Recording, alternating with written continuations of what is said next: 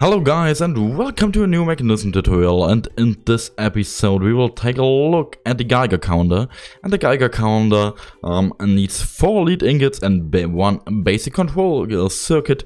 And um, the Geiger counter will show you um, something about your radiation in your environment and um, if you take a right click on uh, your air, you can see how much millisievert um, per hour um, this um, area um, will get with um, radiation and um, if, we, if, we, can if we go to our fission reactor for example you can see it's um, it's increasing a bit, but um, here it's um, it's going a lot down.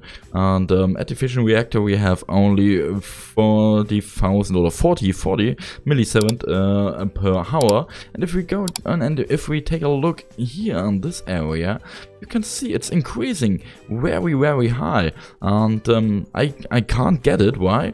Um, because um, this um, shouldn't be um, something with radiation.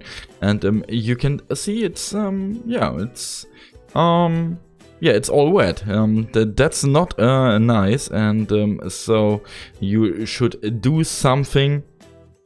And if you have too much radiation, you need to wear a MekaSuit um, or a hazmat suit um, because you uh, um, otherwise you will die. And um, yeah, that's the Geiger counter. I hope uh, I could tell you something about it. Thanks and bye.